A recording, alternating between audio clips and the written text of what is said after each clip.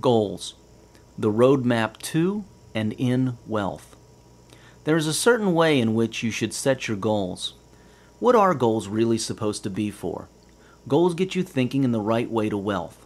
Goals focus your thoughts, format them in the right way for the universe, and keep your images consistent and non random. Hence, there is a right way to set goals. A lot has been said before on the importance of setting goals. This is nothing new.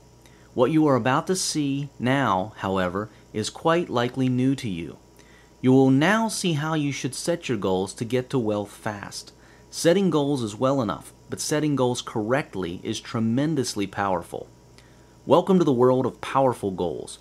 Your goals are the prophecies of what you shall one day become. If you do not know where you are going, you will end up exactly there. Where?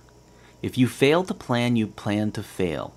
If you have no specific goals, you will get no specific results. Remember, the source takes your thoughts, your images of your mind, and manifests them into your reality. You see exactly how this happens scientifically in the quantum physics chapter. But your thoughts and images are the blueprint by which your world is designed and created by and for you. Goals are planned thoughts, directed thoughts. Without planned and directed thought, your life will be unplanned and undirected, seemingly haphazard and seemingly unreliable. Simply know where you are going, and the answers as to how you will get there will come to you in their own time. Do not worry about it. Simply believe that you will get there. Your ideas, visions, and dreams, whatever they may be, are the prophecies of what you shall one day become and achieve. You can predict your outer life tomorrow by looking at your inner self today. You can change your tomorrow by changing your inner self today. Take goals seriously. A 20 year study involving students in a certain Ivy League university in the USA traced the lives of one graduating class. 3% of that class had their own written goals at the start of the study. By the end of the 20 years, that 3% who started with written goals and plans were worth more financially than the other 97% combined. They also reported more satisfaction and joy with their lives. The visionaries and dreamers of the world are the saviors and driving force behind it. These are the inventors, artists, philosophers, educators, sages, business people, designers, scientists, leaders, and so on. Anyone who dreams big and creates. The world lives in their ideas and ways, and it cannot let their ideas die fruitlessly. The world is beautiful because of the dreamers and visionaries. The world and the universe as a whole are in full support of these dreams if only the dreamer were to believe this and act that way. The universe, the world, the source, God, is friendly and supportive of your dreams and aspirations. Simply have a vision, believe in that vision, and you will without fail realize it to the extent that you will believe you will. All else is in your favor. So dream very big. Dream very, very big indeed. Conformity can be your worst enemy. If you do what the crowd does, you will get what the crowd gets. Every day, people get up in the morning, go to work like everyone else, and do things like everyone else. But ask them why they do it, and they just do not really know. They just work hard all day because everyone else does, and their reason for working is that they wish to pay their bills and provide for themselves and their family. If you are 30 years old, working hard like everyone else, like the rest of the crowd, and that is all you are doing, you can easily tell roughly where you will be in life when you turn 50 by looking at the 50 year old crowd today. Are most 50 year olds today financially independent or wealthy? No, they are not. The vast majority of people today are not wealthy or financially independent. But they could be. If only they just did not follow the crowd just because it's the way that it is done. To get something better than the crowd gets, you have to do one thing differently, and that is to have specific goals, reasons, visions, and wealth consciousness. By reading this book, you have started to do something different in wealth causing.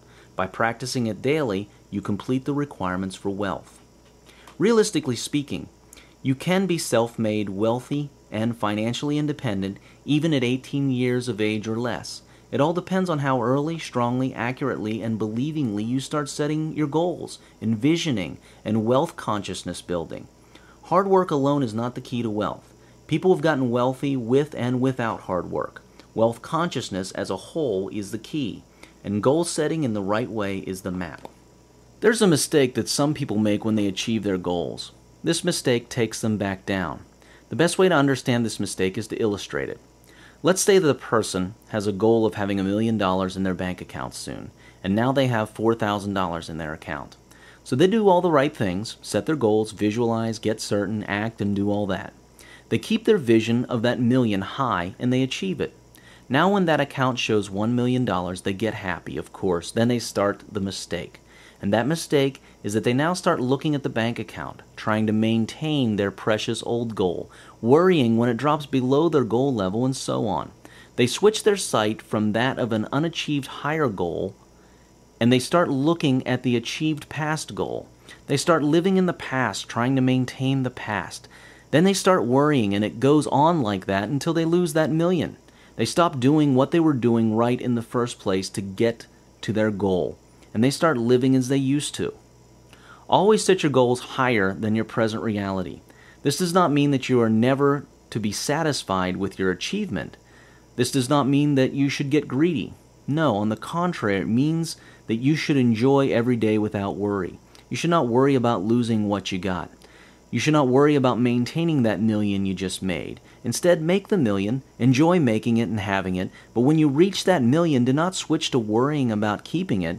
Instead, set a new, higher goal and have your eye on that new goal, but enjoy your old successes without a worry of maintaining them. In any case, it is folly to worry, as the worry itself is what would bring you down.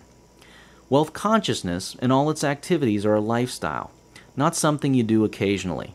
Your thoughts, being, and goals should always be on the next grander version of you, not on the past version. Be careful of how you set your goals and visions. The heart, also called the subconscious, has a tendency to take in and internalize the unnegated part of a vision.